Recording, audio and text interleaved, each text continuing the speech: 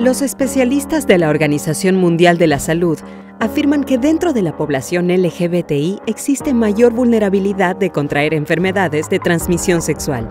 El problema de invisibilizar esta realidad es que no se brinda una atención óptima y eficiente.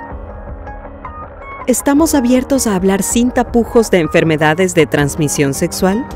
Yo sé que da miedo hacerse las pruebas, yo sé que muchas veces da miedo hacerse la prueba del VIH, pero hay que hacerlo con miedo.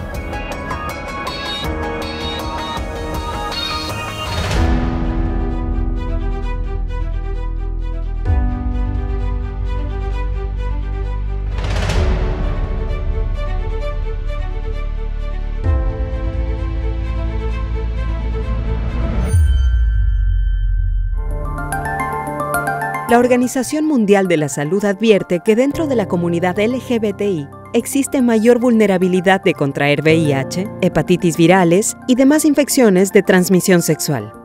Según datos de 2012 del ONU-SIDA, la prevalencia de VIH en este grupo en Latinoamérica y el Caribe se estimó en 11,42%, mientras que en la población en general no llega al 1%.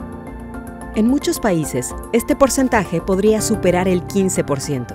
El avance en el tratamiento del VIH ha sido muy positivo en términos de eh, el estado de salud o el bienestar de las personas positivas, pero ha tenido un efecto sombra un poco negativo y es que se le perdió el miedo.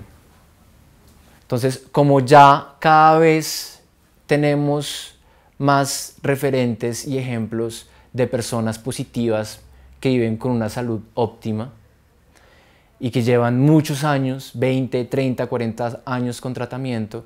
Entonces uno está sintiendo, sobre todo en los chicos más jóvenes, uno está sintiendo que no hay miedo.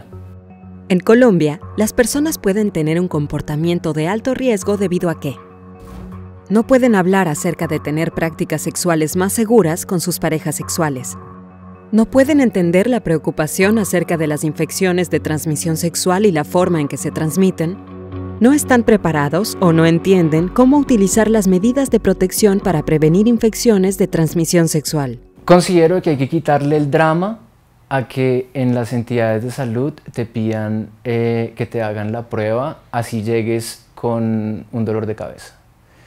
Eh, independientemente de que cada uno tenga o no un sexo responsable, eh, sí hay, sí hay en general, sí hay en general una falta de conciencia de sexo responsable. En general sí lo hay entre los hombres que tienen sexo con hombres y cada vez más lo hay. Y hay que quitarle el drama porque yo creo que la importancia de este asunto, la gran importancia de este asunto es testearnos es testearnos. Es importantísimo saber cómo estamos.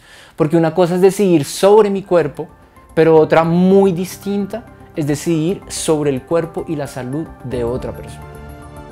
Ignorar que en la población LGBTI existe mayor vulnerabilidad de contraer ETS promueve miedo, silencio e inseguridades en las personas que se pueden ver afectadas por esta situación. Es momento de hablar sin tapujos sobre un tema tan común dejar posturas de indignación y construir realmente sistemas de comunicación que permitan una sexualidad divertida y responsable a la vez.